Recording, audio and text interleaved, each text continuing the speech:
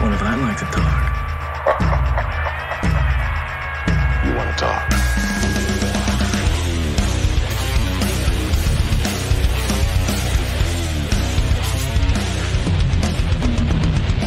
You're listening to Black Fawn Distros Takeover Tuesday, the official podcast of Black Fawn Distribution, broadcasting live across the planet and retransmitted on all major streaming platforms.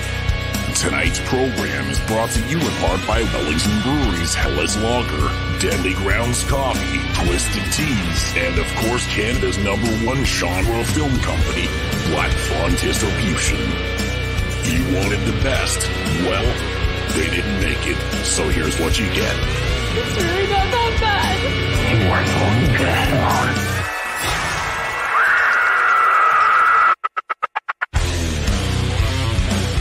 Your host, Benner from Black Fawn Distro.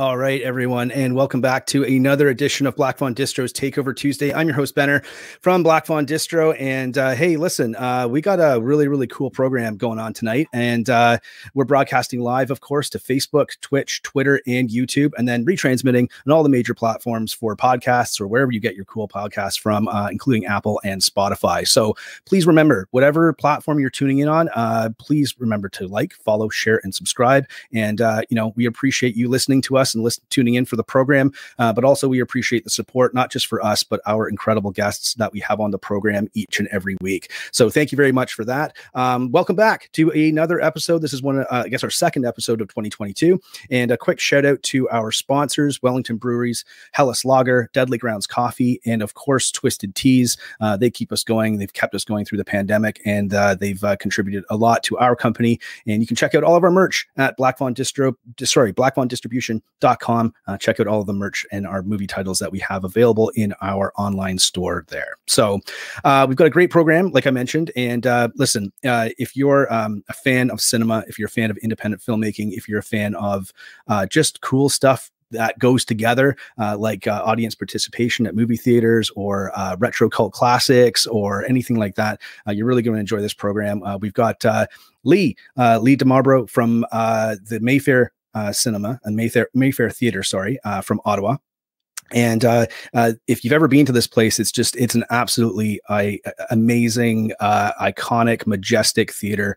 Um, it's uh, almost hundred years old, and uh, Lee's actually been the programming programmer there at the theater for the last 12 years as well as co-owner. Uh, so he's an accomplished filmmaker himself and we're going to get to all that stuff very very soon. But listen um, you know the drill. Before we get there before we get to anything um, we got to do something you know as fun as we can make it and that's hit the news so let's hit the news and uh, i'll be back right after this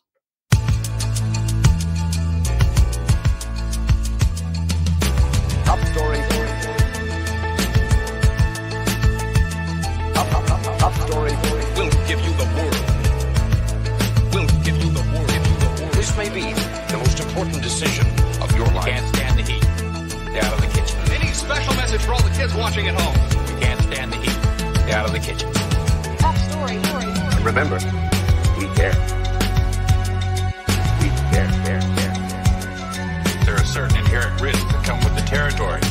Top story. story. Top, top, top story. We'll give you the world. Give you the world. Give you the world. Top story. Story. Story. Story. Story.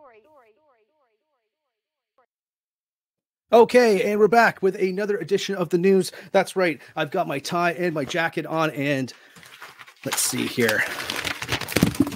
Give these papers a shuffle. Uh, let's get into it. Um, we've got we'll keep it short because we want to get right to Lee and talk about all things the Mayfair Cinema, uh, Mayfair Theater, uh, Mayfair independent filmmaking, as well as Lee's uh, own filmography of stuff that he's been done. He's done in the past as well as working on currently. So let's get to it. Our top story tonight. Guess what? It's fucking cold out. That's right. Winter is here. We've got a ton of snow. It's minus a thousand degrees outside. Um, so if you're lis- living in a um, uh, a tropical part of North America instead of a snowy part of North America, we all hate you. Um, so just so you know, that's our top story. Uh, but just kidding, um, we don't really hate you. We just we're just supremely jealous of uh, not having to uh, uh, of you not having to dig your cars out of snow, your walkways, and all that fun stuff. Um, it's a disaster if you are living in a northern part of North America right now, uh, like we are kind of, I guess, in the southern part of Canada, which is the northern part of wherever. Um, anyway, it sucks. Moving on, uh, just a quick uh, update. We've got our infamous horrors contest going on right now. Uh, if you haven't actually entered the contest, we've got a massive prize pack available um, through them. Uh, we're partnering up with Infamous Horror, who are a uh, um, they are basically a horror community operating out of Montreal, Quebec.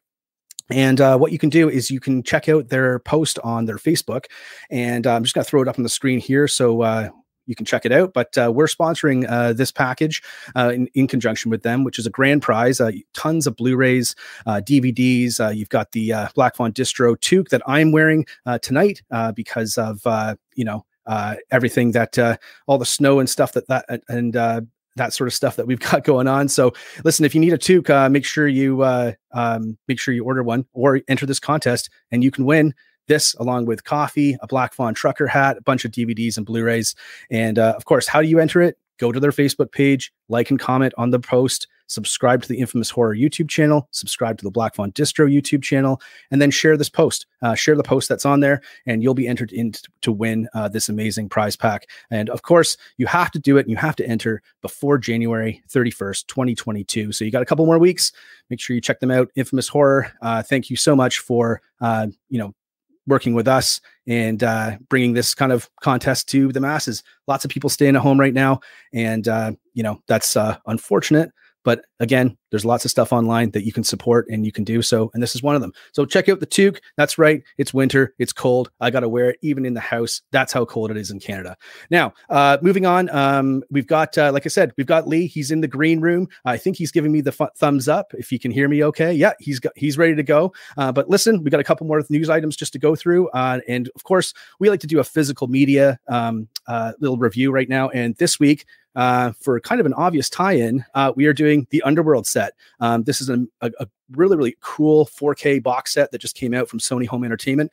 Um, I bought this myself. It wasn't it wasn't uh, it wasn't shipped to me, but Sony, if you're listening, uh, that's a that's a heads up for you. Uh, but really really cool set. If you like these movies, um, this pops open like this, and you've got all the 4K movies in here. I won't take them all out, but as you can see, really really nice packaging really different uh, artwork on each uh, in each disc. I haven't got through the whole collection yet, but the first movie looks absolutely amazing in 4K.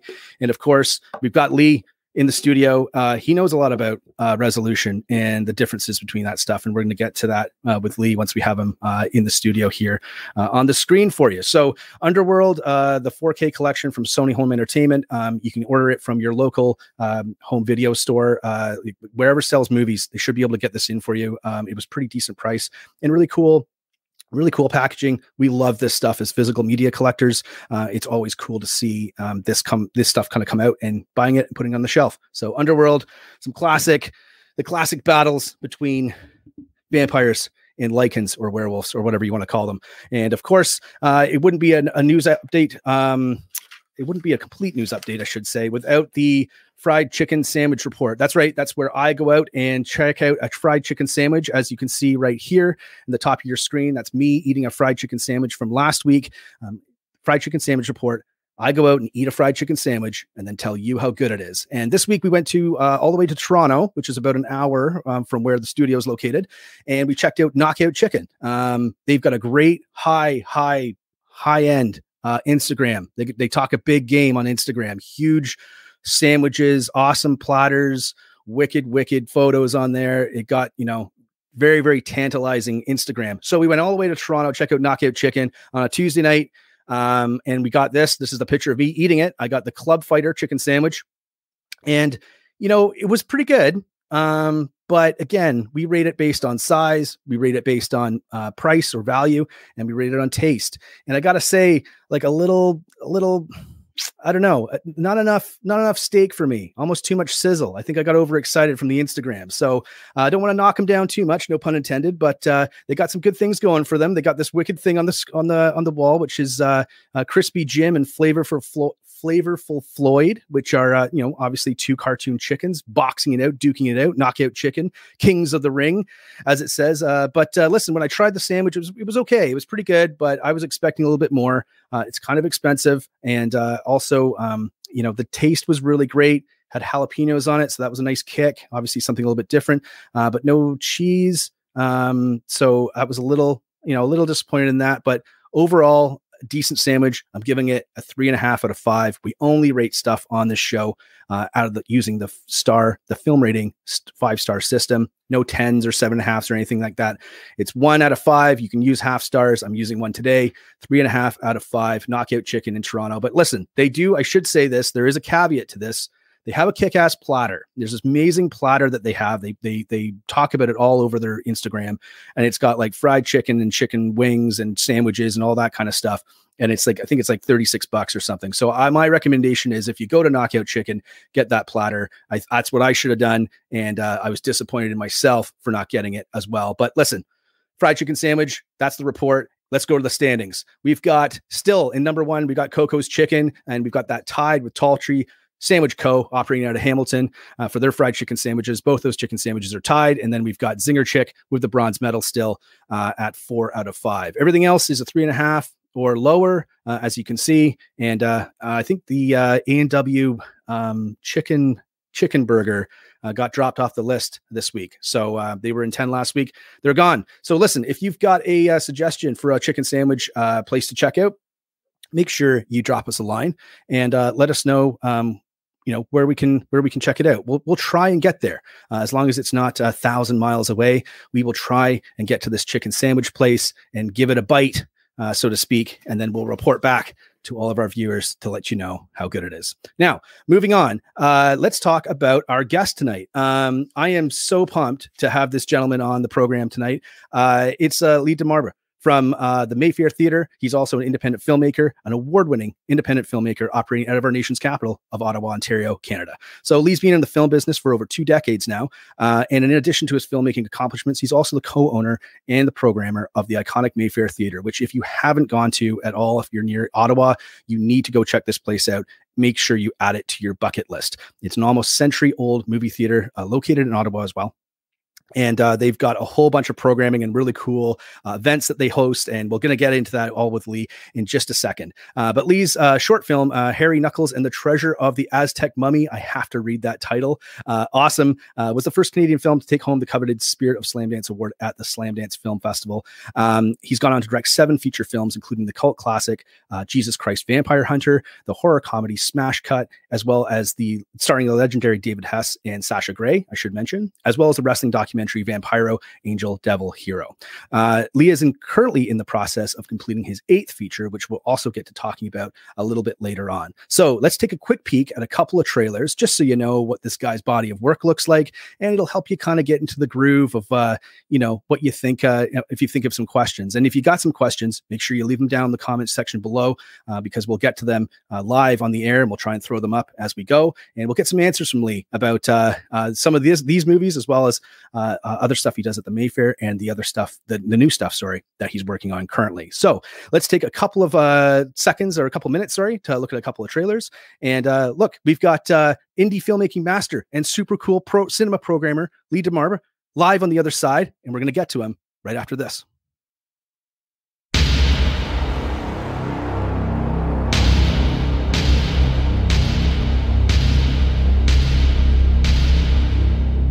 New millennium, vampires no longer fear the sun.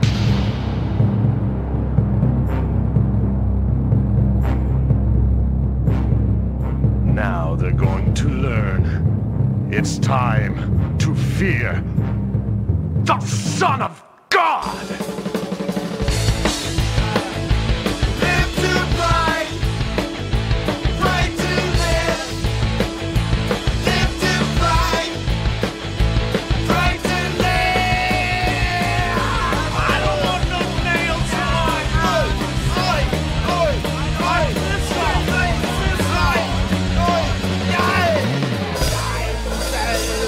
Caracas is Jesus Christ Vampire Hunter.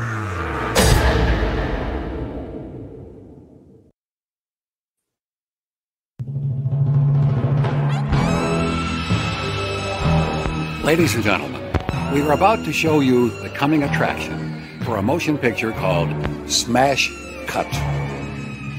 Allow me to introduce Abel Whitman. Action! That guy makes Ed Wood look like Orson Welles.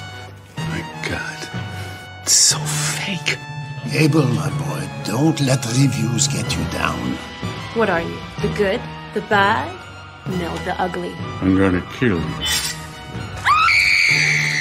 And then I'm gonna cut up your body into little pieces and use them in my movie. Action! He's going to kill everyone! April Carson, WKY TV. Tell me you're here to audition. Yeah, totally. Here, use this. What's that smell? It's just a prop. It's only a prop. Cut! That's a print. You're young. You're perky. You're better every day, April. But today, you're acting as if your life depended on it. You should be in front of the camera more. For those of you who appreciate this type of cinematic art, you will see the most startling scenes of their type ever filmed. I'm taking the script out of your hands, Alan. But for those of you with heart conditions, or who are with young and impressionable children, we ask that you turn around in your seat or leave the auditorium immediately. It's gonna be a bitch for uh, makeup department. It's gut check time. Art is worth suffering for. I've always said you have really good eye, Oma. We really have to show the people what filmmaking is all about, what real filmmaking, what the art of filmmaking is all about. We've got to snap them out of their complacency. We've got to show them the suffering and the hurt and the pain that goes into filmmaking. I implore you, ladies and gentlemen, to never forget that filmmaking is a blood sport. Watch if you must, but remember, you were warned. Who's putting this on again? Whitman, Abel Whitman. Jesus, I hope he makes a movie someday. You'll be immortalized in Abel Whitman's next film, whether you like it or not.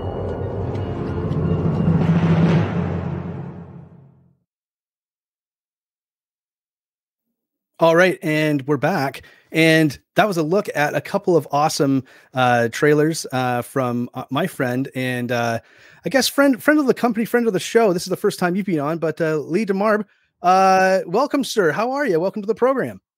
Thanks for having me. I tried to fix my lighting situation, and I put in my new toupee on, so I dressed up just for you. uh, well, we appreciate it, and of course, we're broadcasting live to Facebook, Twitch, Twitter, and YouTube. Um, but of course, we rebroadcast or we we retransmit on uh, all the major streaming platforms uh, for podcasts um, so cool. including apple and spotify so don't worry uh, our retransmission is going to go out just audio only so you don't have to worry about uh, oh. any of the lighting but i think it looks cool man i think you have this classic movie thing going on in your uh, wherever you are right now in the background uh, which is really cool because um, you are the guy i know and i would classify as the classic cinema dude that knows everything about that old school shit. I well, I'm I'm passionate about it. You know, all, you always meet someone who knows more about movies than you do. But sometimes I think, you know, but I'd like to think I love movies just about as anyone, you know, as more than anyone else. Not anyone else, but I like I I love it more than I know about it. You know, I'm not one of those guys who has a photographic memory. Uh, but I certainly love cinema, the good well, and the bad well, I know uh, uh, we met you uh, a few years back. I guess, well, I must, must have been, I want to say probably about six, seven years ago. Uh, and we screened uh, one of our releases, Discopath, at the Mayfair. Wonderful. Uh, and it was you, you had called us or emailed us, I think, and told us how much you loved the film. And we were able to make it happen. And it was, it was awesome. And just to give people just a quick kind of, um, uh, just just a heads up as to what this place looks like, and we're going to get to get into it in in a, in a few minutes for sure. But I'm just going to throw this up on the screen, which is this is the this is a picture of of the inside of the Mayfair. It's it's an absolute classic looking uh, cinema, movie theater, whatever you want to call it. Uh, it was an absolute treat to to watch our film uh, screen there, and and since then we've seen "I'll Take Your Dead" as being there. I think Bed of the Dead played there as well. Um, but uh, it's just a fabulous, a fabulous place um, to check out films, and of course you know, um, with the pandemic and all that stuff, everyone's sick and tired of talking about it. But uh, you know, you guys are closed right now, but you know, we're going to get into getting talking about what you have coming up when you when you do reopen. Uh, like I said, I tell everyone who has ever goes to Ottawa, I say make sure you go to the Mayfair. It's an awesome place to check out a film, and it's it's an experience like that you don't get uh, or you wouldn't get at you know any of the bigger cinemas. So, uh, but listen, I want to before we get into that, I want to jump into um, uh, talking about you're an independent filmmaker as well. Uh, and at the top, I said, you know, you've been in the game for over 20 years now. Uh, you've got a whole host of projects that you've completed, that you're working on, that you've done. What kind of, how did you get into that originally? Because I actually don't know that. And what got, what draws you to the the different style of projects, um, or what, what has drawn you to the different styles of projects over the years? I'll try to tell the story short. Sure. Yeah. Yeah. because it's a long one. And i been i tell this story to my friends. I don't know if i've told it in full detail to uh to anyone who's been recording me saying this but i remember you know i i grew up um i moved to ottawa in 1977 when i was five. And for the first five years of my life i lived in a city in ontario that didn't have a cinema. So i moved to ottawa the year star wars came out and that was a big deal for me. And I and that was it was a movie that I loved so much. My mother kept taking me to see Star Wars over and over again in theater. And then Jaws two, I remember being the next big one. Not Jaws, but Jaws two. I was thrilled by as a kid. And then my mother just started taking me to see movies almost every weekend. Usually Sunday night before you know. Maybe around seven, we go see a movie, and I go to bed and get up and go to school on a Monday, and that lasted from you know almost a decade until I, I remember moving to Newfoundland and coming back to Ottawa in '86, and my mother took me to see everything theatrically, and and I I still can't believe the kind of stuff I saw theatrically. Like a movie like Time Bandits, the Terry Gilliam's Time Bandits, I saw when it came out opening weekend, and was thrilled by it. Rambo, the the, the sequel to First Blood.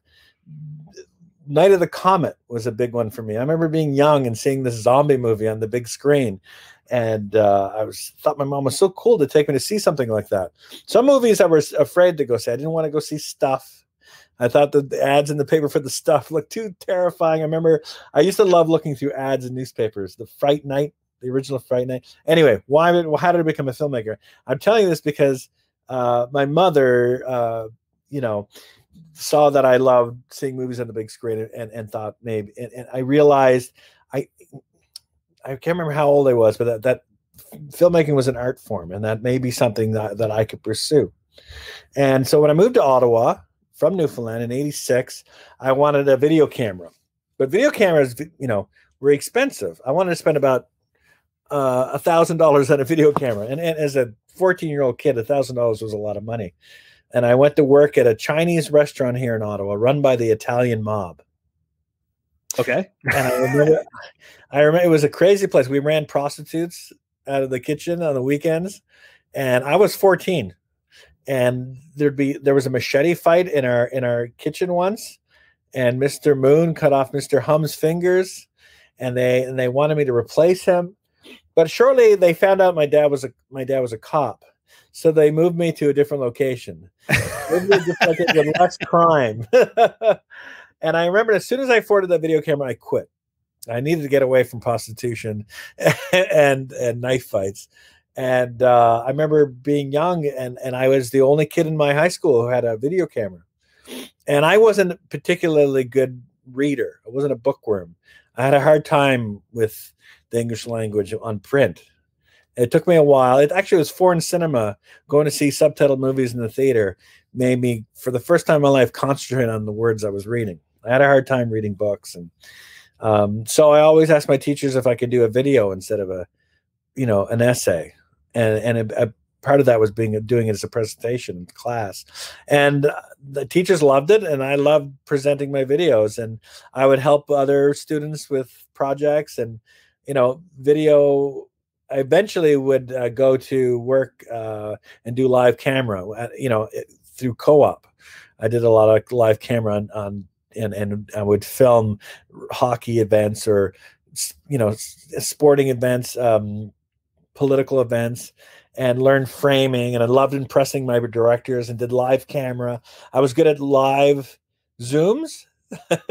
That's really nerve wracking to do a zoom on a live televised event and then and the, and to hear the director. Oh yeah, Lee. Oh yeah. Oh yeah. That's so good. It thrilled me. and that's why you agreed to do this show because we go live every other Tuesday, right? It's, it's nerve wracking, but it brings out a nice energy too.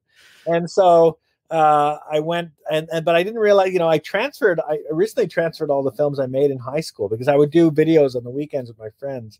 We called it basement wardrobe because we usually shot it in someone's basement and we would raid our parents' wardrobe and we would make these short films. And I I, I digitized 88 short films that I made uh, in high school with my friends, like serious things that we edited. We would edit in camera. So you would film, and if you didn't like a take, you would rewind and tape over what you just shot because it, you know you couldn't. I didn't have a way of editing until I got a camcorder with flying erase heads, and I can. I could do that later on, but you would lose generations. I want I wanted to keep the quality up. It was crazy how we made movies back then. But when I was at to university, I realized there's there's difference from from from seeing what I'm seeing in the theater and what I was doing at home. What was that difference? And I realized, oh, it's because celluloid. Hollywood films are being shot on celluloid. And there was an Ottawa filmmaker by the name of Frank Cole, uh, who made these incredible films in Ottawa. He's one of Canada's best filmmakers.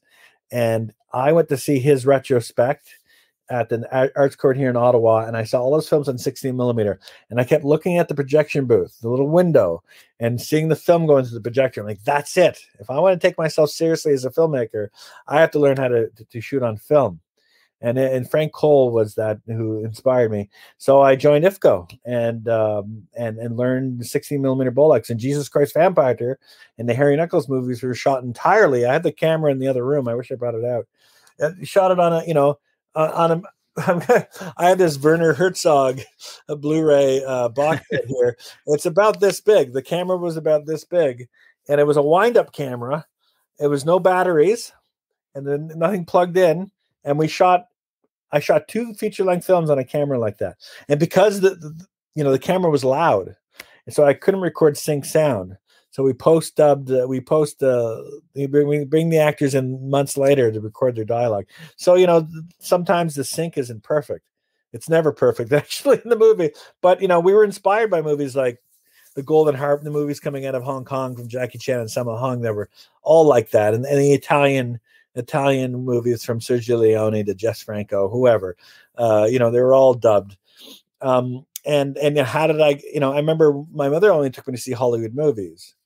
And when I went to Carleton University taking film studies, you know, I remember going to Carleton first year and a film one of the students was in the class with me said lee let's spend this whole summer watching movies. So when we get to first year film studies no profess- professors would take us seriously because we've seen these movies. And she says what movie should i watch? And i recommended you know you got to watch the godfather movies. Make sure you see those they'll laugh you out of class the casablanca. And i recommended all these like classics. And four years i four years at university, we never watched one of those movies. You know, they because I think up until I went to university, I was always fo- just focused on Hollywood. So I was introduced to foreign cinema and national Canadian cinema, and that just blew my mind. Um, and, and and so I was by the time I was ready to make my own my first film on on 16 millimeter, um, you know what to make first. I realized that all these genres and and national cinemas that were in my head sort of came out of Harry Knuckles. Harry Knuckles isn't one thing. It's my love of many things of cinema. It's a kung fu action comedy horror musical, you know? Uh, that's what all those movies are.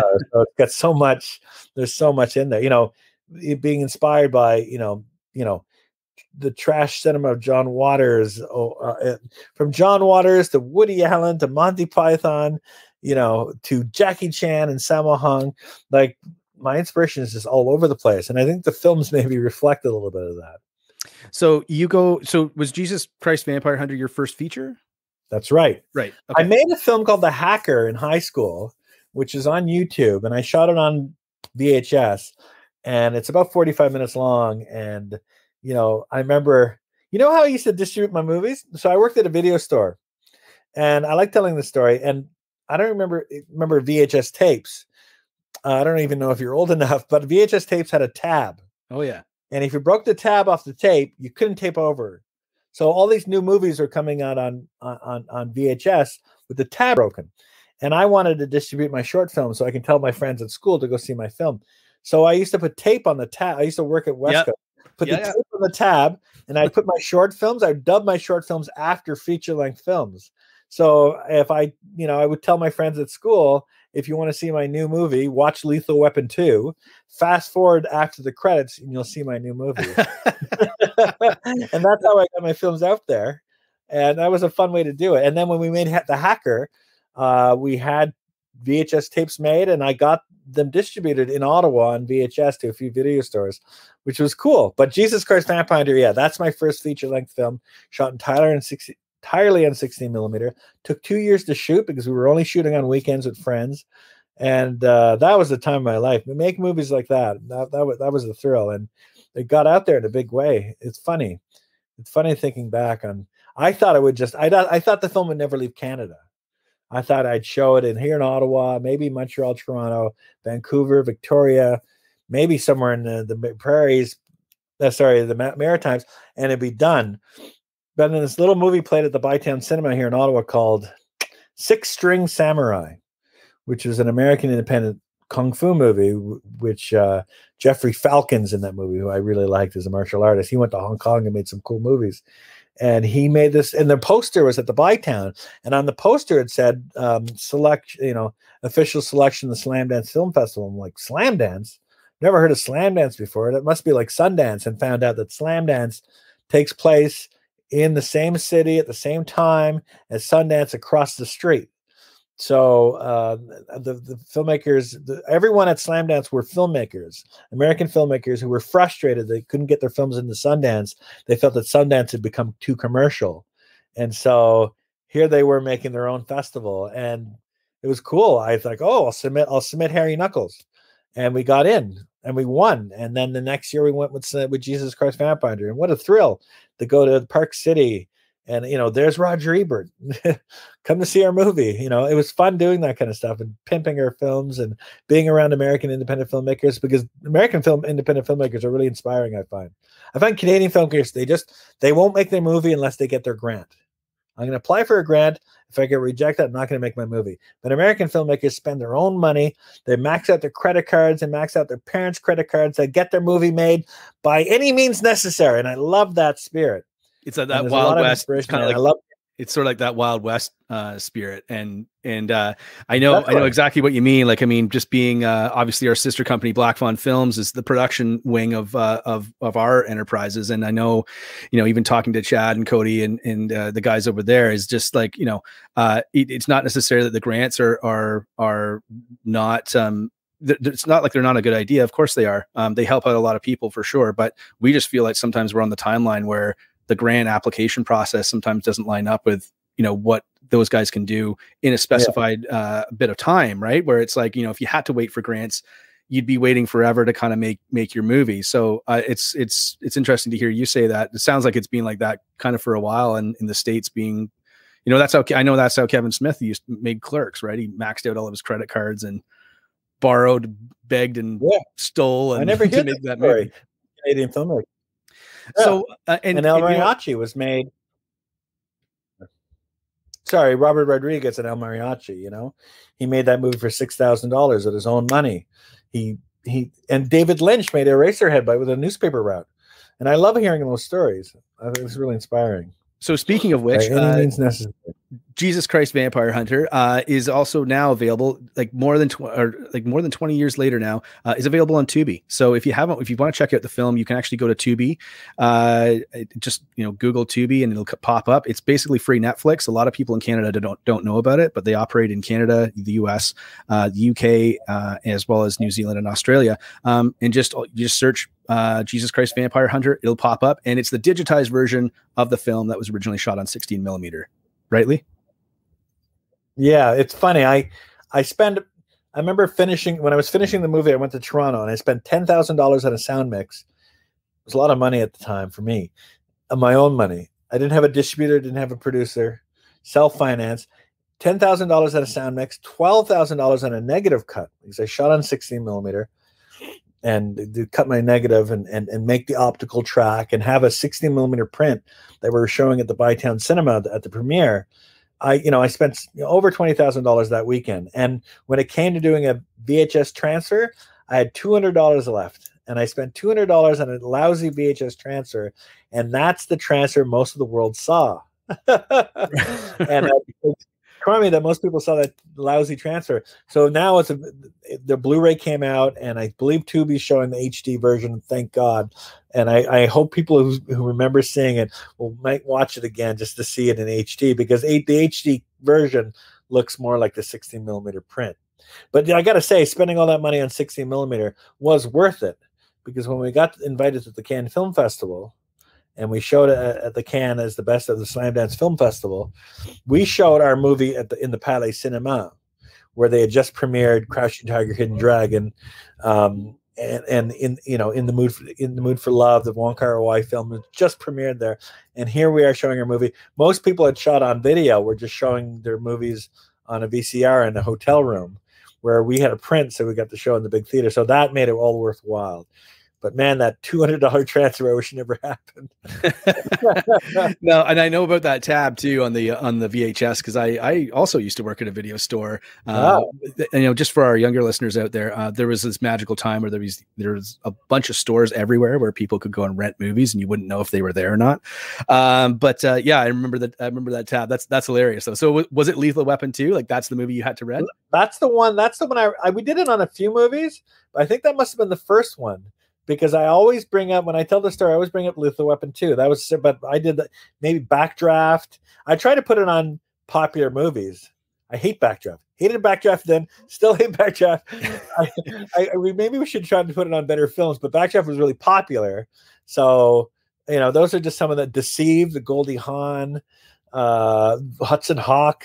You know, some of these movies that came out when I worked there, Hook, we just throw our movies on the end. So fun. look, if anyone's listening out there and you have potentially a copy of Lethal Weapon 2, Lethal Weapon 2 Backdraft or The Deceived um, on VHS, you might have a uh, a, a dub version of uh, of uh, one of Lee's short films. So you should check that out and let him know or swing by the Yes. Mayfair and drop it off. I'm sure he'd love to have a copy. Um, so let's talk about the the Mayfair and let's talk about 16 millimeter and 35 millimeter and all that fun stuff because you know we talk a lot about uh, independent film and, and getting projects off the go, uh, but, but we don't necessarily talk to a lot of people like yourself who are really in the the screening business of showing these films to to the general public. And I think there's lots of cool stuff to talk about. Um, you've been involved with the Mayfair for the last 12 years. You're co-owner. You're also the the the film programmer at the cinema. Um, like talk to us about the Mayfair. Um, give us the rundown because I know all about it. I've been there, but for people that haven't gone there, um, what can they expect, and why are you so passionate about about film screening there? I believe it's the second oldest operating cinema in Canada. It opened in 1932. You know, and think about it 1932, the sound era, sound was just becoming a thing in cinema. Movies like Wizard of Oz and Gone with the Wind even been made yet. Um, I wish the Mayfair could talk to me and and tell me stories. You know, sometimes when I put on an old movie, I brought my son during the lockdown. I brought my son in and we watched Red River, Howard Hawks' Red River. And I thought to myself, geez, Red River would have screened here when it came out. I wondered, does, does the screen and the speaker say to themselves, huh, I remember this movie. I remember playing this before. Uh, 1932, and, and, you know, I also, Tom Cruise grew up in Ottawa a short while, and his first movie he ever saw was at the Mayfair. He saw 2001 A Space Odyssey at the Mayfair and made him decide, oh, I'll make movies.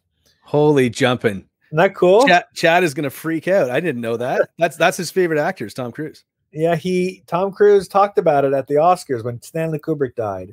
He introduced the Oscars and talked about growing up in Ottawa and seeing 2001 and the Space Odyssey on the big screen. And now on the red carpet afterward, he talked about how he saw it. Someone asked him what theater, and he said, "Oh, it was the Mayflower Theater." the Mayflower is a restaurant on Elgin Street, but he confused it. But it was the Mayfair where he saw it. You almost got all that residual business, right, from Tom Yeah. Cruise? yeah, I got I got to meet. I want to convince Tom Cruise to buy the building now. anyway, Uh, Tom, if you're listening, um, but he's a big film. He's a massive, massive Yeah. film nerd too. Like, Yeah. I mean, I heard that he, I heard two- stories about Tom Cruise, and uh, you know, just through the press, but that he had a, a kick-ass theater, a home theater installed, like the best of the best at his home, and he tries to watch a film a day um because he gets new ideas and and just the history of film and stuff and and uh you know i say what you will about tom cruise but i mean the guy makes good fucking movies right Yeah, Um, and yeah. his filmography is pretty much flawless from front to back Yeah, I I'm, I feel like I'm always separating the artist from the the, the the the man from the art. I don't care about Tom Cruise. I don't care what he believes in. I don't care what he says politically. I don't follow any of that stuff. Yeah, I, the quality of filmmaking is what I matters to me. And, Yeah. and man, he tries hard to make good movies. I want to see him jump out of a building, man. That's what I care about, right? yeah, it's really impressive. He's like a he's like the Caucasian Jackie Chan. Hmm. So listen, Tom, uh, Mr. Cruise, if you're listening, uh, if you've got a soft spot in your heart for Ottawa still, um, please consider, yeah, maybe buying the building that the Mayfair is Yeah. in, and that's the first place you saw 2001. That's crazy. Inspired. So now the Mayfair as well, like you guys do a ton of audience participation screenings. I don't know if there's a particular term for them, but uh, you you always do Rocky Horror. You always screen the room. Um, there's a lot of people out there that haven't gone to a screening like that. Uh, what can you tell? What what can you tell us? Like, what's the like? What else do you do? How do you put on the How do you put on the shows? And and what are the types of things that people can can expect if they go to one of these? I guess I would say riots because that's what they are, right? I I often when I'm selling tickets, I often get asked by couples. I like when older couples ask me this. You know, when are you showing Rocky Horror Picture Show next? What do we do? And I always tell the man to wear his wife's underwear to the screening and come. Does that happen? Like, people do that? I'd like to think. I mean, we there's you know people running around in underwear all night long to Rocky Horror. I think Rocky Horror, our Rocky Horror Picture Show performance, and I've seen it in many cities around the world. Nothing beats our shadow cast. So the shadow cast comes from all over Ottawa, and I, some of the actors are from Montreal, and they perform on stage in front of the movie while the movie's on and it's thrilling and every night's different and some of the actors switch up different roles and and it's really it's a really good performance at the mayfair. Um, they put on a good show and they try really hard. I'm impressed with those guys. The rocky horror picture show had its world premiere in ottawa at the ottawa film expo uh, back when a week before the film was released theatrically um, which is kind of crazy. Ottawa was the birthplace of Rocky Horror, so we deserve the coolest screenings. Uh, we show it once a month, usually around midnight, uh, and it, that's a that's a that's a scream. We used to show it. We used to have a print, we used to be able to show that until Disney took over 20th Century Fox. You know that Walt Disney now owns Rocky Horror Picture Show, which is nuts. Are, Uh, are, are they going to give it an amazing Blu-ray release or 4K release like they have done some of their other films? Sorry, Disney. We're not sponsored by Disney. If anyone's curious, yeah. They might not admit the owning that movie. It's not on Disney Plus yet. So um, I just wanted to uh, uh, jump in on a couple. Of, we got a, a, a pretty good audience tonight. I want to just jump onto a couple of uh, uh, um, comments here. Um, uh, we've got John McIsaac, a longtime listener and viewer of the show. Uh, this is amazing. Awesome, John. Thanks for tuning in again. Uh, and this is why we have, yeah, this is why we have, we wanted to have Lee on because, like, he know he's got a you're a great storyteller and b you know a lot of stuff about the real rich history of, of these like screenings the films themselves um uh, Daryl popping into longtime listener of the show, Blockbuster on a Friday night was something else. Um, and uh, of course, uh, let's see. Uh, oh, yeah, you know, our good friend uh, Chris Giroux, uh, Jesus Christ Vampire Hunter is a Canadian classic, and uh, can't watch, can't wait to rewatch it on Tubi now that he knows that it's there. Uh, thanks everyone for tuning in. And uh, of course, you know, talking about the, you know, you were mentioning, um, you know, filming your first feature, uh, that film in particular on 60 millimeter you've got a 35 millimeter projector at the Mayfair. Uh, there's a lot of people out there that don't necessarily they hear these numbers being thrown around, don't really understand necessarily the importance or the impact that those films have on that format. Can you give us sort of a Cole's Notes um, type rundown of of what that means? Because I saw you at Ottawa Comic Con a few years ago, and you gave this great kind of breakdown of sort of like what everything meant and why 35 millimeter was so such a great asset to still have. Yeah, I, you know, I think about that. I thought about that recently. I, Who Framed Roger Rabbit just came out on 4K Blu-ray, and all these new releases are coming out on 4K. But a lot of new release movies are shot digitally. You know, a lot of movies are being shot on 4K, or you know, everything's being shot digitally now. So 4K movie of a 4K f- f- film that was shot 4K digitally, I don't know, it just looks as good as it did in the theater. But a movie shot on 35 millimeter, scanned at 4K, and now 35 millimeter is still equivalent to 6K, they say. But Right. consider the fact that movies have been shot on 35 millimeter since the dawn of the moving image. Uh, the moving image was created in 1895, and all these old movies that were shot on 35 millimeter now can now be scanned at 4K. And I feel like old movies aren't old anymore.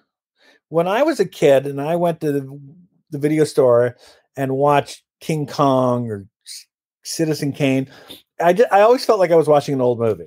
You know, the quality, you know, they're in black and white, the quality wasn't rich. Sometimes you're watching scans of a 35 millimeter print, and if the projectionist decided to cut out a scene to make the movie shorter, then that's what you watch. now, I think home video is now at a point where it's never been as good to watch a movie, and they're going in and they're restoring these films, and they look better than they ever have looked before. Who Framed Roger Rabbit on on 4K Blu-ray? I was amazed how good it looked. The blacks are real, you know, like it's not a dark gray or a light gray. They're they're rich, and I was just I- it looked like I had a 35 millimeter projector in my basement watching it here. Um, I don't know. I just I, I keep telling my everyone I know, old movies aren't old anymore. They're you know maybe some of them are black and white, but they look like they were shot yesterday. That's my feeling too. Like I I got into 4K and I it's not like I was didn't believe in it. I was just like I feel like Blu-ray is enough. For years I was like nothing's ever going to look as good as as Blu-ray like in your home, right? Like I mean the theater is still going to be the theater. They got a, a screen bigger than whatever, right? So um but I was like uh I bought the first 4K uh, I bought a PS5 before we went into before we went into lockdown last last winter. I was like, I'm gonna Yeah. get a 4K screen and I'm gonna get a 4K uh, a PS5 because at least that'll give me something to do uh, throughout the winter. Um, and uh, the first movie I got was um, The Shining uh, on Mhm. 4K, and I had the Blu-ray, and I put the Blu-ray in. And I go, well, that looks good. Like, and I wanted to do a straight comparison, and I said, I don't have a problem with that picture. Right. And then I put the 4K in, and I was like blown away. Like it was it it a yeah it the, the color grading the the grain, um and there's I don't know if you can talk to the grain uh in film because it's a bit of an odd topic. A lot of people don't understand why it's there. They think if grain is on the screen, it's a bad thing. Where it's actually creates more depth of field in the Yeah. in the image that you're that you're watching. It makes it more of a uh, 3D image, right? The Shining on 4K looks better than Doctor Sleep on 4K. Yeah. Doctor Sleep was shot digitally, and The Shining was shot in 35 by Stanley Kubrick. So it looks incredible. That that that's a good picture quality. And I find that the restoration stuff, like for the older films, because it's it's uh, or anything that doesn't have isn't heavy on CGI, um, because they can't. What I've read and researched is that they can't really finish the CGI at 4K because it'll take Right. too long to process. So they film at 4K, down convert to 2K, finish all the CGI, then up convert to 4K again, Yeah. uh, and then put it on disc. The only film, it's funny too, because I went to um, when I saw Joker in the theater. Uh, that's a movie that, for some reason, blew me away. Like from a from a a visual point of view, like, and I don't know why. Just it just looked amazing, and uh, apparently it was shot at 6.5k digitally, and that's why it looks so good. So they Ah. they basically shot it as high as digital they could to make it replicate 35 millimeter. Apparently, Yeah. Yeah. So yeah. so 4K. Make sure you get that. Film fans out there, make sure you get 4K. It's Yeah. it's, it's like watching and I also as well, like I just watched Close Encounters on 4K the other night. And uh it's like watching the film for the first time.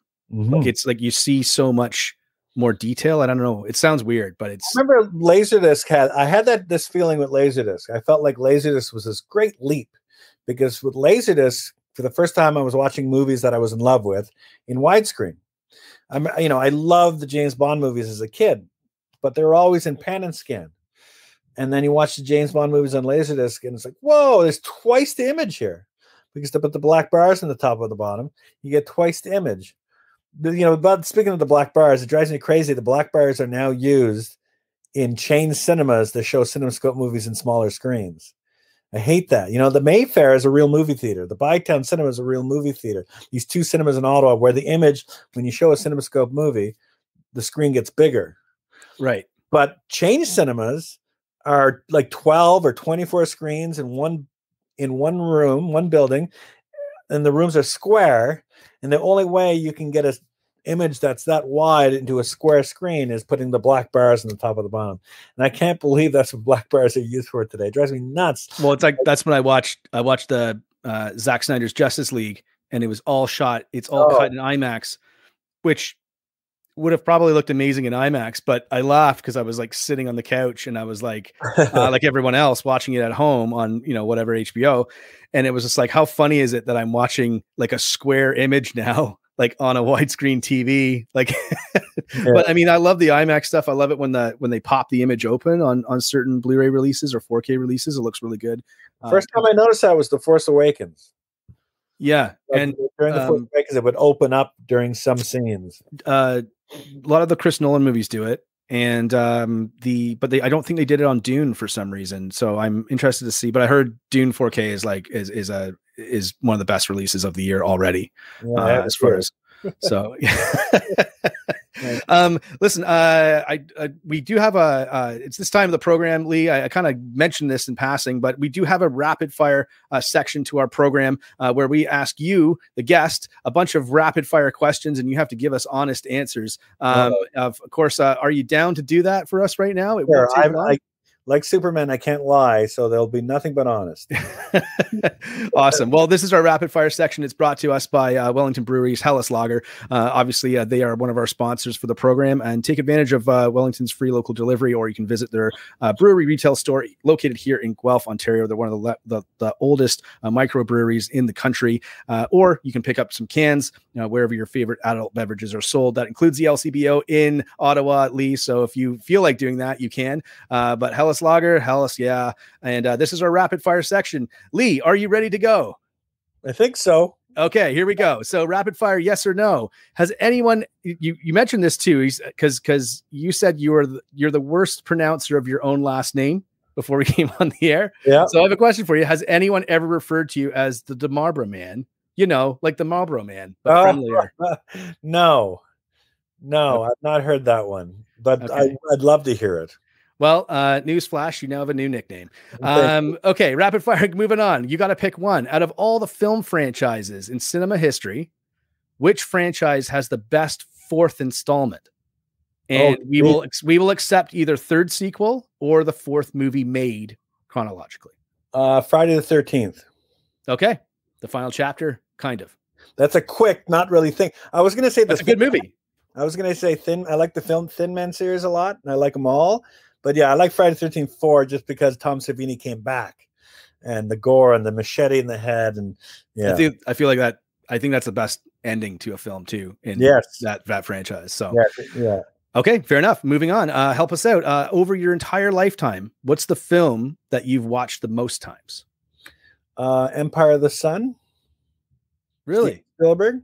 Yeah, I, I came to Ottawa and I didn't have a lot of friends. I was always moving schools every five years, so I, you know, it was hard. I- was always saying hello and goodbye to friends. And when I came to Ottawa, I kept going to see that movie, that and Who Framed Roger Rabbit, over and over and over again in the theaters. I, I was in love, and I would sit there with tears in my eyes. Not because I was moved by the drama, I was because I was moved by the quality of filmmaking in both films. As a young person, uh, Who Framed Roger Rabbit to me is probably the most complicated movie ever made in Hollywood. I would love to see a version of that movie without the animation, with all the animatronics, that were all the wires and everything they were using to make that movie. And Empire of the Sun, yeah, that movie. I can't. I own a 35 millimeter print of both of those movies, actually. That's Empire of the Sun is. I, I bet you a lot of people out there thought you were going to say Empire Strikes Back, but Empire of the Sun, I I think it might be Spielberg's most underappreciated movie. personally it's my favorite. I, it's funny I, all my i love so many filmmakers. My favorite steven spielberg movie personally is empire of the sun. It's probably not his best film but it's personally my it's like the color of money it's my favorite martin scorsese film personally. Right. The color of money was a film like empire of the sun i kept going to see when i was young. And i was thrilled by the camera positioning and and, and the uh, uh, that movie is his most visual film i think An amazing performance by John Malkovich, and also, of course, a very, very, very, very young Christian Bale. Yeah, he's my age. That's why I liked it too. I remember reading the reviews, and the re- it wasn't a well reviewed film. Uh, Last Emperor was out at the same time. The Last Emperor would go on to win Best Picture, and I think a lot of critics compared them. And the, I remember the reviews were lukewarm for Empire of the Sun, and I would read them and I would try to understand them because I was a kid. I was Christian Bale's age when it came out, and I remember them thinking that Spielberg looked like he was glorifying the war. And now, in retrospect, I realize he was t- showing you the war through a kid's point of view. So he to to a kid, the war was exciting. Tanks and planes were exciting, and, uh, and, the, and the kids don't understand the impact. Uh, you know, of the war, they just see the the smell of the engines and, and the Yeah. Spitfires, and that's what he was. He was he was dramatizing uh, Jim, that's his character name, um, J.G. Ballard's uh, as a kid, his enthusiasm for the war. And that's what I got as a kid, but I didn't know how to articulate or really even understood until I re- reread the reviews when as I got older. After my balls dropped, I reread the reviews. and I could understand why critics got it wrong at the time. I remember uh, like like my so my favorite Spielberg movie is E.T. Uh, hands down because it was the very first Yes. film I ever saw in the theater, and even when I watch it today, the third act of that movie it Oh. always gets me, and I don't know why. It's the music, it's the Music. it's just the anyway. uh, quality this is rapid fire. I don't want to go down a rabbit hole, but but but uh but uh, it's it's for me that's that's the movie, and uh, I watched a thing uh, about it, like a behind the scenes thing, a documentary. I can't remember which one, but it was that Spielberg shot the film like he put the camera position at about four feet, uh, or three and a half feet, four feet, which is the level of where you how you would see things as a kid because Right. you would you would only be that tall. And they they were saying that's why this film's impactful because most of the film is kind of shot through the, uh, the not only the the the, perce- the, the, the the perspective of of ET but the perspective of Elliot as well. And I was Yeah. just like, oh my god, that's probably why I love it so much, right? So Yeah. and he shot it in chronological order. And when I started making movies, I would shoot in chronological order just because I thought that's how you made movies. And as I got Yeah. older, no, you don't make movies that way. But thinking back in ET, how effective was that for the act, the child actors? Because they meet ET and they're in awe, and when they say goodbye to him at the end, they're crying their eyes out because they were really saying goodbye to ET because he shot it that way. It's brilliant. wow, amazing. Yeah. Uh, Steven Spielberg, um, a god amongst men. Have you seen? Uh, well, I went to see uh, West Side Story twice. I love West Side Story. I, I haven't seen it yet. Beautiful. Um, yeah, uh, I'll probably. I'm not a big musical guy, Oh, with yeah. the exception of uh, Willy Wonka and uh, Team America. But um, but I do I do appreciate I appreciate musicals. They're just Yeah. but, but I'll check it out because it's Spielberg. amazing. It's, It's yeah, so It's okay, so um, like I said, rapid not not very rapid fire, but next question. All right, so tell us some more. Uh, you've talked over the years about the ghosts that allegedly haunt the Mayfair Theater. I say allegedly because I don't want to get sued by any sort of paranormal uh, legal service. So, can you quickly tell us one of those stories? Well, there, yeah, we've had two different uh, organizations come in, paranormal investigators, and they both determined that there are two ghosts behind the screen and one ghost at the back of the theater sitting in one of the couches who really doesn't like when people sit with him. I understand the one in the cinema is a him, and I think it's a man and a woman behind the screen. So there's three in the cinema. I've not seen anything that made me believe that, but this organization, one of them had recorded something behind the screen that determined all this. Uh, and I like looking for. When I was a kid, I wanted to believe in ghosts more than anything. I loved Close Encounters of the Third Kind as a kid so much because I could tell Steven Spielberg wanted to believe in UFOs as much as I did, and I was just I want I always looked up to see something, and I always at night wanted to believe in these things, and I've not really ever seen anything that make me believe in ghosts or UFOs. Uh, I hope I hope someday I I meet these people who are haunting the Mayfair Theater. Anything happen if you sit in the couch? Like, has anyone said anything after they've sat in the couch with the? No, no, not not any people. I think the movies are the programming is so good at the Mayfair. People are just watching the movies. Right. That'll, that'll be me as a ghost. I don't like people sit. I don't like strangers sitting next to me Yeah, during a movie anyway. tough in the hand. Yeah, no. Uh, to be honest, no. But this these are the stories. okay, so moving on. Uh, rapid fire. Uh, what do you want? Uh, you're programming the ultimate triple bill at the Mayfair Theater. What three Oh, films are you oh, picking? Oh, oh, I love this question. When I retire, I'm going to do the, my when I retire, my last night, I got three films all chosen. This th- this is a trilogy to me in my head. Uh, Shane, the Okay. West, followed by uh, HUD with Paul Newman, and Midnight Cowboy. Okay. I feel that. So I don't know if you're familiar with all the films, but Shane, in Shane, the young boy is played by an actor named Brandon De Wilde, and he looks up to Shane. And when Shane leaves, he's sad to see Shane go away.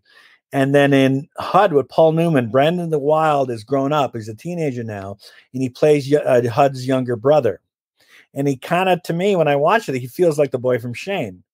You know, uh, it's a little bit more modern setting than Shane, Right. but it's the kid from Shane, and I know whoever cast Shane cast him because he's in Shane. And at the end of HUD, Brendan Wild leaves the farm with a transistor radio at his ear, and he gets on a bus. That's the opening of Midnight Cowboy, played by Jon Voight, not Brendan Wild this time. Brendan Wild is a blonde-haired kid, the cowboy hat on, transistor radio here, and he gets off the bus and he's in New York City. When he checks into his shitty little room that he finds, there's a HUD poster on the wall ripped in half, and that's that's that, that's you know the director of uh, Midnight Cowboy telling me, oh yeah, this is this is a sequel to HUD, and Wow. sequels a HUD sequel is a sequel to Shane. At one point in my life, I thought Part Four was Forrest Gump, but I'd have to rewatch Forrest Gump again. I can't remember why I thought Forrest Gump was Part Four, but that's it. Shane, HUD, and Midnight Cowboy. That's a great triple bill. Okay. Enough. follow Fran, follow the blonde haired Brandon De Wilde. Let us know when that's screening. We'll come down and see it. Check it out. Okay, for sure. I'd like all on 35 millimeter, I hope. Yes, absolutely. I would expect nothing less. Um, I know we've got a bonus question because I thought of it uh, as I was doing my research for the program. Uh, yes, that's right. Even though we go live, we still do research on the show. Uh, but bonus question: I need you to rate this using the five-star classic film rating system. Could you rate your guest appearance on the Open Mike with Mike Bullard show from all the way back in 2000? Uh, okay. Um, y- there's two different reviews because have you only seen it on YouTube? Yes. Yeah, I put that up on YouTube years ago. I, I cut out one of his questions. I cut out one of his questions because I was embarrassed about my response. So the live, the live telecast, I'd give it one star, but what's on YouTube is five stars. I cut out one stupid thing. I hated how he replied. He was pissing me off all night because he was trying to get my goat. Uh, Yeah. because I because Paul Shaffer didn't show up. Paul Shaffer was supposed to be the first guest, and Paul Shaffer was late getting into the airport. So they put me on first, and I just won the Spirit of Slamdance. And Mike was trying to give me a hard time. And then when Paul Shaffer came on, he was great. Paul was great. But um, yeah, it's embarrassing. I, I like the fact that people still talk about it.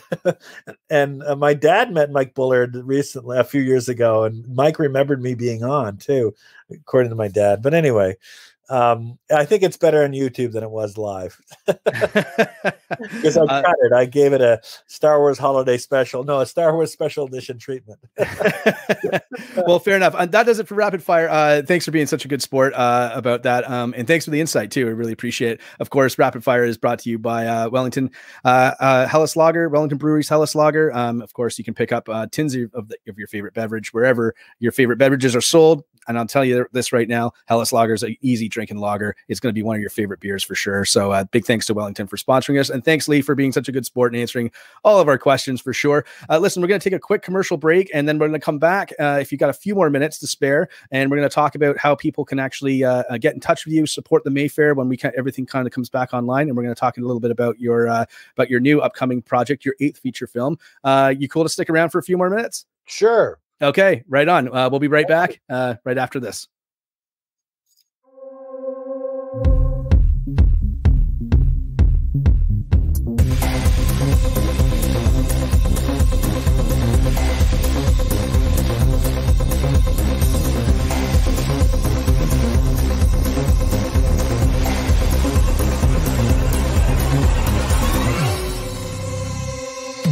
Black Fawn Distro. Movies, merchandise, available now at blackfawndistribution.com.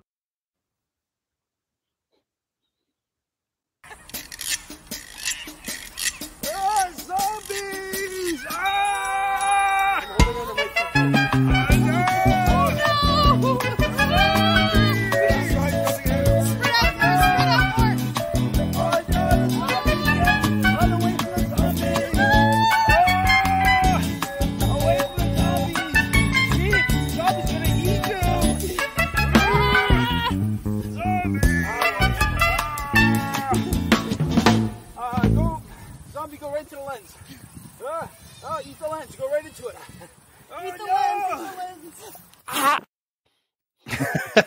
and we're back uh, with uh, Black Fawn Distro uh, Takeover Tuesday. I'm joined again with uh, uh, um, with my guest uh, Lee Demarbre. Uh, Lee, thanks again for sticking around. Uh, that was a uh, quick um, uh, teaser trailer, I guess. I guess not even a trailer, but just a little teaser uh, for your next, uh, your eighth feature film uh, called Enter the Drag Dragon. Um, where are you at with that project? What can you tell us about it? That's not that shot's not in the movie. That was just a camera that my one of my cinematographers brought along. We had a little fun after we finished the day. Um, where my, Yeah, you know, this movie has been quite the journey.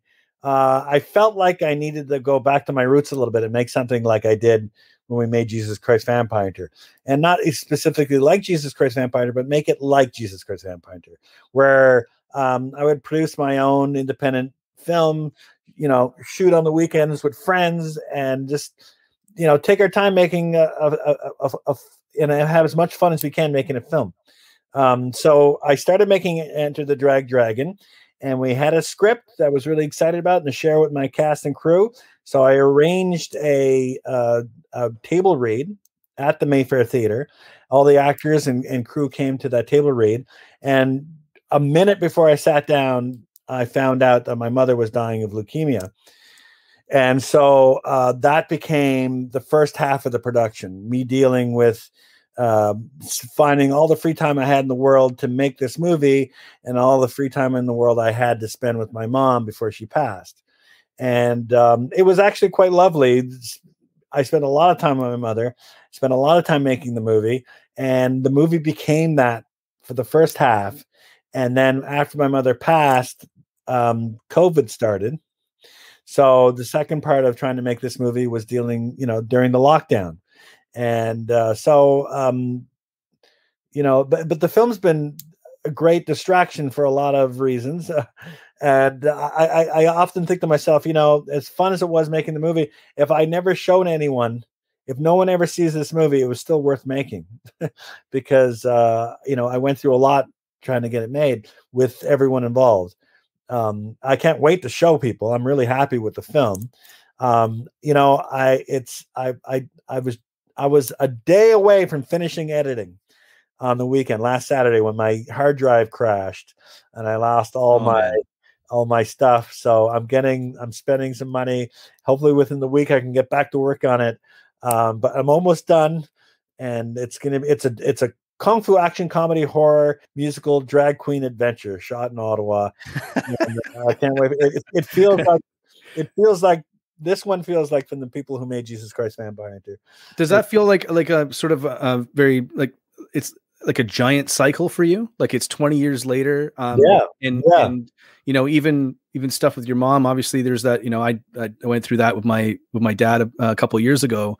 Um, but like with your mom being so influential and you kind of getting into film and stuff like that, was that did that sort of come in, out into or did that did you put that into the movie? Yeah, yeah. So my mother played the screaming lesbian in Jesus Christ Vampire Hunter. So this one, this one's dedicated to the screaming lesbian, which the movie opens that way, and it might confuse a lot of people. But I, I, I got, I, I got to say, my mother's passing was a very positive experience because for a year I spent all my time with her. You know, I would go to the hospital and edit and work on the Mayfair at the hospital.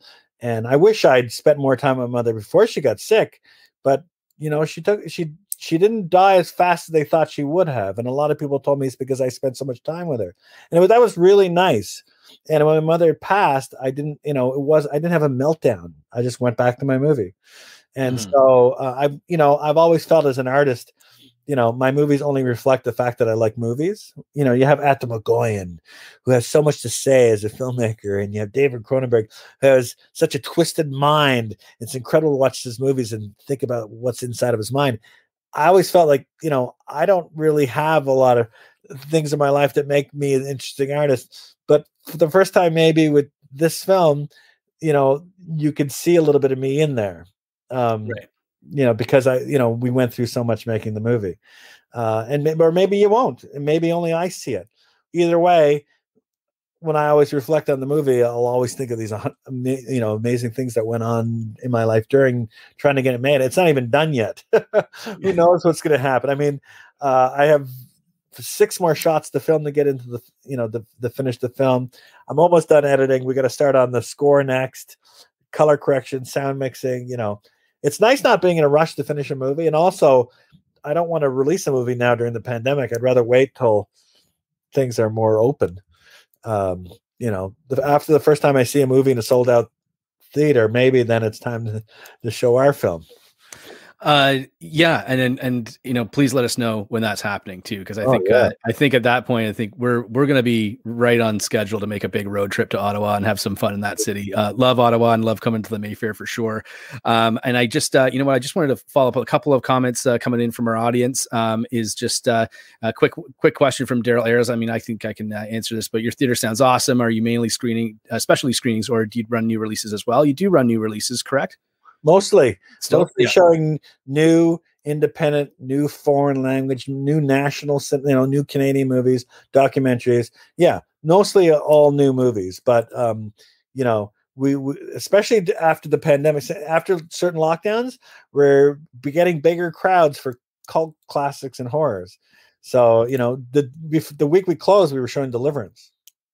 Awesome. Deliverance? And we showed. Spaceballs and Deliverance the day we, the week we closed. Like as a double feature? No, no, Oh. no. but you can see them both together in one same week. Double features don't work anymore. We can't afford. I took over a failed business, so we had to get rid of uh, double bills. But uh, mostly new movies. But uh, you know, it is for your fun to see movies you love on the big screen again. Okay. And uh, just this is actually a very particular uh, 35 millimeter question, which is why I wanted to bring it up. But John's just piping in here, just saying, I'm a private 35 millimeter film collector. I run, I run a Kinoton FP20. Uh, I don't know what that is. Uh, but uh, does your theater still run film? And I think I know the answer to this too. But uh, if you wanted to talk a little bit about that, I think. We just showed a 35 millimeter print of uh, Unforgiven, Clint Eastwood film. Oh, wow. and I, I like introducing movies on 35 and br- i always bring up the last reel say this is what we're watching tonight. A lot of people don't you might not even care realize what we're watching tonight but we're watching film and i try to make people appreciate it. The fact that this is a positive from the negative that was in the camera on set when clint eastwood made the movie. And it's also thrilling to say i gotta stop talking and bring the print back up to the projector so we can finish watching the movie. But uh, yeah, we're still, you know, and I also th- say, you know, if I brought Unforgiven to any other theater in Ottawa, any Cineplex theater, land, they wouldn't know what to do with it. You know, this, uh, this is the only cinema in Ottawa where you can watch 35 millimeter, and we try to bring in prints as much as we can. Um, and it, it's great to show 35 millimeter, and it does, especially older films. I mean, anything that was shot on 35 looks great. I have a I have a 35 millimeter print of Attack of the Clones. I don't know why because it was shot digitally. Yeah, it was shot at, yeah, that's a film that was shot at 2K. Yeah. Because at the time, Lucas thought that that was going to be like, that's, that was it. And so the, the only resolution you can, any, any 4K you buy is an upscale. Yeah. Uh, so that film can never be, that can never be mastered at more than 2K. It's um, but I saw uh, the world premiere of that movie at the Cannes Film Festival. I went to the first screening, and I remember when it showed in Toronto on DCP. I drove to Toronto to see the first DCP screening. Now I drive to Toronto to see movies on 16 mil, uh, sorry, 35 millimeter or, or being presented on 70 millimeter. But I can't remember. I can't. It's crazy to think that I drove to Toronto to see a film projected digitally. And I remember thinking it was too saturated, but now they've they've made it better. Yeah. Uh, is there is there a 35 millimeter print um, that that you have at the Mayfair or or that you've seen before that would like just to get people to say, hey, if you're gonna come out and check a 35 millimeter film out, this is this is one to really start with, and it'll actually kind of it, it, it- you'll you'll get the difference. Is there is there a title that we comes to showed, mind? we showed Spaceballs, and my 35 millimeter print of Spaceballs at the time was the print that Mel Brooks showed the studio before he had a final cut.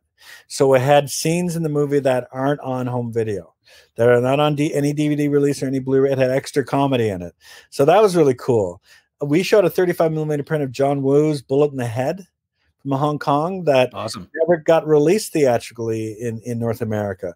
It Miramax had bought the rights, they dubbed it in English, but decided never to release it.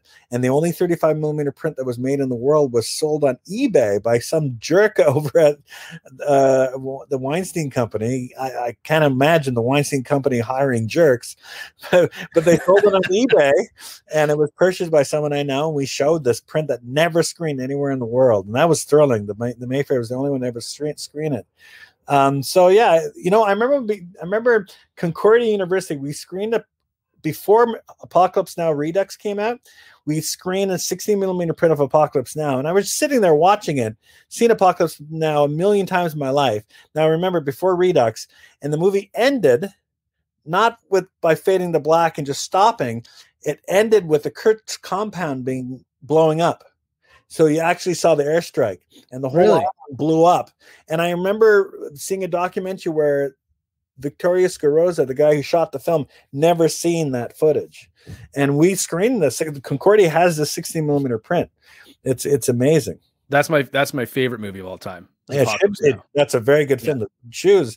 You know, I would take you very seriously after t- you, you. If I just met you and you told me that, I would take you serious. It was one. It was the one film I remember watching, and and when I was a teenager, and it was like I was really into film. Was getting into film, watching you know all the all the all the staples that you mentioned too. Like you got to watch this movie and this movie to be taken seriously. And I wasn't doing it other than the fact that I was, had a list, and I was like, I should watch these movies to know kind of you know whatever.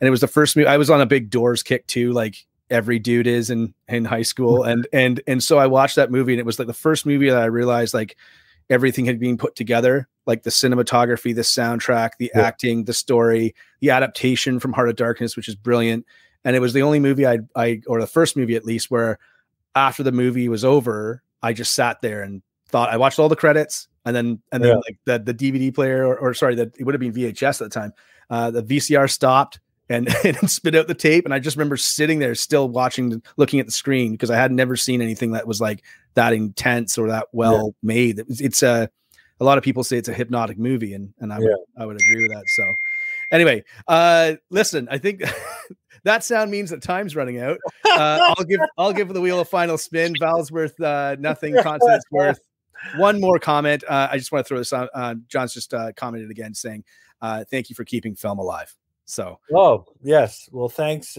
Thanks for knowing that there's a difference between film and video. Yeah. this whole transition happened, and no one talked about it. Like we switched, the industry switched from film to digital. We threw out film. The, the, the studios in, in, in the, the warehouses that were storing film in North America destroyed 35 millimeter prints on bandsaws. They took them off the reel and split them and destroyed them, put them in landfills, and no one talked about it.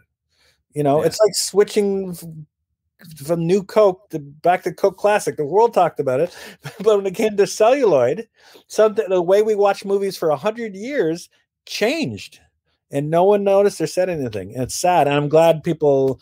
Um, I want people to notice and think about it. You know, it's like it's like Google. You can go online, you can go to Google, and you can type in the Mona Lisa, and you can look at the Mona Lisa on, on your laptop, or you can go to the Louvre and see the Mona Lisa for real. And seeing a 35 millimeter print of a movie at the Mayfair, wherever you see a celluloid print, it's like being at the Louvre. That's what I'd like to tell people. Awesome. To me, it's like that. so Spaceballs 35 millimeter. If you see that, if you see that screening at the Mayfair, um, go and check it out. Uh, listen, before we let you go, um, thanks again for doing all this. Uh, I, I know we're in a in a weird time. I know it's hard for uh, you know independent theaters. Uh, it has been hard over the last two years. Um, what is a way? Can you can you just tell our audience like what's a way where people can support maybe the Mayfair itself?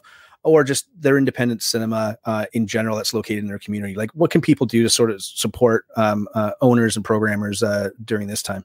Stop watching Netflix. entirely cut Well, your no but everyone's so comfortable now over the pandemic everyone got so comfortable with disney plus and, and netflix and i just want people to remember the best way to watch a movie is is in a cinema and it's not because the screen is bigger it's not well not only because the screen is bigger it's not only because of the sound like i have 7.2 surround sound in my basement i have a big 4k tv but seeing movies in the theater is still better because you, there's a communal aspect you can never get at home you, you I remember seeing movies like Apocalypse Now for the first time in a cinema or or Airplane. I remember seeing Airplane as a kid. And I still remember when I watched the movie today, I still remember what, what the audience was like around me reacting. And you don't have to see a movie with someone you know. You can go by yourself and experience a movie with people, whether they hate it or love it. It's an experience, and you can't get that on Netflix. You can't get it on Disney Plus. You can't get that with your 4K TV and your 7.2 surround sound. Cinemas, uh, uh, you know, cinema is the seventh art, and please try to respect that by seeing movies as much as you can in the movie theater And, and you know what? We, you know, it, it'd be sad the day we talk about movie theaters the way we talked about video stores. You know, you know, it, would be that'll be a sad day, and I hope I never live to see it. Yeah, yeah, and and uh, and and surely you're serious too, right? So yes, uh, just a little airplane reference there for anyone in the know. It's my favorite. It's my, fa- it's my favorite joke. It's my favorite joke. My mom took um, theater.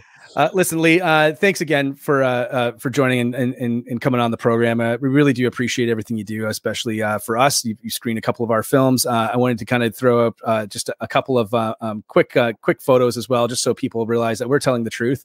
Uh, but you did screen Discopath. Uh, there it is on the marquee uh, on the Mayfair uh, when we screened that movie, uh, directed by. Uh, by Ron, our good friend Ronnie uh, Renaud Gautier, and uh, of course, uh, I'll Take Your Dead, um, Chad Archibald's uh, um, um, sort of crime uh, crime ghost story uh, there at 9:30 on the Mayfair marquee as well. Um, but uh, just wanted to throw those up as a little bit of a yeah. little bit of a flashback. Um, thanks again uh, for doing this. Uh, of course, um, uh, you know, and, and, thanks everyone for tuning in. I think you, this is great. This is awesome. I know you're a great storyteller, both in film as well as in person. So appreciate you in the program. Of course, that concludes another episode of Takeover Tuesday. Um, Lee, stick around just after we just go off the air, just so we can chat just for a couple seconds. Um, but yeah, we're broadcasting live live to Facebook, Twitch, Twitter, and YouTube. Uh, of course, you can also catch one of our retransmissions on any of the major streaming podcast platforms, including Apple and Spotify. Uh, whatever uh, platform you're tuning in on today, uh, please remember to like, follow, share, and subscribe. And of course, make sure you follow Lee on Instagram as well as the Mayfair on Instagram as well. Uh, you can uh, his handle is Lee underscore Demarbre, and uh, the Mayfair is at uh, Mayfair Theater. Uh, and if, and again, if you want to check out uh, Lee's filmography, all the stuff he's worked on, his upcoming projects, uh, make sure you just just pop his name into YouTube. Check out that channel. Make sure you subscribe to that channel as well, and you'll get the updates on uh, all the new cool th- stuff that he's coming out with, including um uh sorry enter the drag dragon oh that's a good which one. is what kind of genre again because i'm not going to say that it's a kung, kung fu action comedy horror musical yeah, perfect. perfect. Awesome. Okay, well, uh, thanks everyone for for tuning in, and uh, again, Lee, thanks again for for uh, for visiting. Uh, we hope to see you soon, and uh, all the best uh, in 2022. And we'll talk to you soon. Thank you, sir. Take care. Bye. And that does it for another episode of Black Fawn Distro's Takeover Tuesday. Thanks for tuning in. If you enjoyed tonight's episode, please remember to like, follow, share, and subscribe and help us spread the word about the program and our incredible guests. If you're interested in grabbing some more information about Black Fawn distribution or want to check out our film titles and merchandise, you can find us online at blackfawndistribution.com. We'd also like to thank our sponsors Wellington Breweries Helles Lager, Deadly Grounds Coffee, Twisted Teas, and of course, Black Fawn Distribution. Just a reminder, you can always catch Black Fawn Distro's Takeover Tuesday live on Facebook, YouTube, and our other social media platforms. Or pick up one of our retransmissions on any of the major streaming platforms. Until next time, I'm your host Benner from Black Fawn Distro, and we'll see you soon.